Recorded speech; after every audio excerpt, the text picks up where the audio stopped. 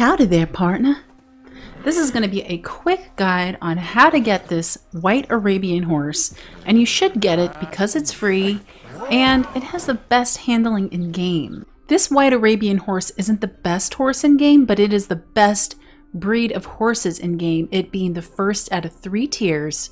If you want to learn more about the best horse in game, click on the link in the description below, and I have a short video all about that.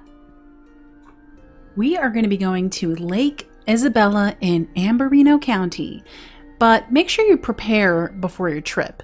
Here's what you're going to need. First, you're going to need warm clothes. Now, if you don't have any, you can go purchase some at the general shop in any town, but chances are you already have what you need. So, to make a custom outfit that you can equip on your horse, you will have to go to camp into your own personal clothing chest. You can have up to two outfits on any horse and you can switch back and forth as long as you have your horse with you. Because we're going to be going to the cold north, you will need to wear warm clothes for this event. I recommend having one summer outfit and one winter outfit so that you're always prepared for any weather condition. The clothes will give you a description of if they are warm, slightly warm, or very warm. Anything that doesn't say warm is considered for hot weather and has a cooling effect, so to speak.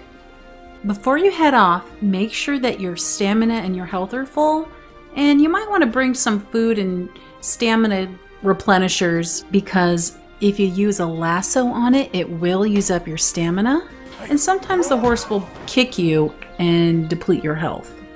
Plus, there's wolves on the way, so make sure you're prepared. Although you can catch this horse at night, it's a lot easier to see during the day, so I recommend camping close by until morning. That way, you have more daylight for longer. So, you're going to find the horse in this area here, and be careful because there's a legendary moose that also happens to be in that area. If you do need to camp out for the next day, I recommend doing it outside of this area here. Now, to actually catch the horse, first you're going to need to, from a safe distance, hold down L2, and while you're doing that, you want to calm the horse down by hitting square. It's pretty self-explanatory because instructions do pop up, but a few things that I do that aren't noted in the instructions is I like to crouch by hitting L3, and you can also use your lasso once you get close enough. Be sure to continue moving forth while holding L2 and periodically hitting square when you hit R2 to use your lasso.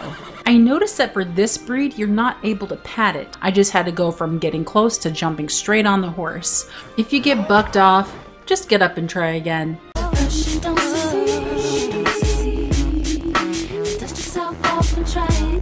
Once you're on the horse, make sure that you have your left analog stick go in the opposite direction that the horse is turning, while also trying to keep it calm by hitting square. Think of it as riding a bull. You want to go against gravity. One thing that I found that helped was to not actually let the left analog stick go into a neutral position. For example, if the horse would start to sway right, I would hold down left, and if it would start to sway left, I would directly go back to right quickly, never really having the analog stick in a neutral position. If you found this video informative and helpful, give me a thumbs up, and if not, go ahead and give me some feedback and let me know what I can do to improve because I'm trying to get good. Oh yeah, and hit that sub if you want to see more in the future. Bye. I reckon you must be some special type of stupid.